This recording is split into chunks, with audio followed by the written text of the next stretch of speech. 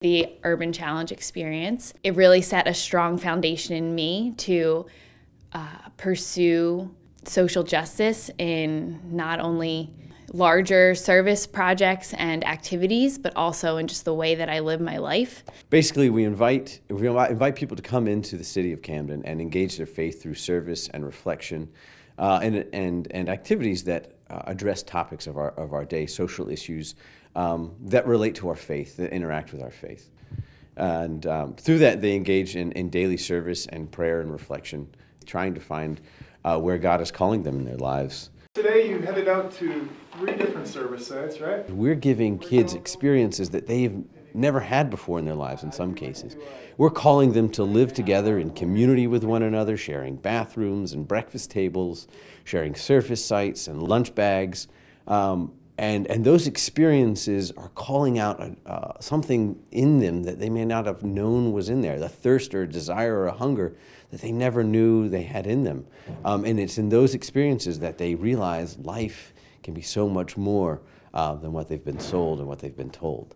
I know I see homeless people in Manhattan all the time, and I never really take like a second look at them. And after coming here, I've cut completely different experiences with it, and it's just remarkable how much you can change, like how much your view can change just from like having one conversation with someone.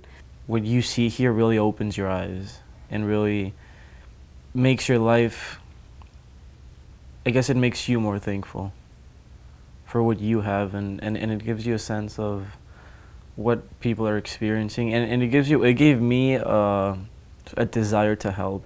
What we hope happens when people come through our door is that they, they get transformed. That they engage in, in, thought and reflection about themselves and about what God calls them to in a way they never had imagined. To do a 180 on their lives, to say, no longer am I going into life for myself, but I'm going into it for others, especially those in greatest need. The Romero Center ministries have been immensely successful. They attract literally thousands of students from around the United States who come here to participate in service retreats, weekend long, week long service retreats. They come from California, from Florida, from Michigan, from everywhere. We get kids from all over the country who want to come here to participate in service programs. It's known among students as one of the most successful and popular service retreat programs in the United States. We charge fees for them to come, but unfortunately our fees don't cover our operating expenses. So we need support to underwrite our operating expenses so we can continue to offer the great programming that we do and attract more and more kids to come.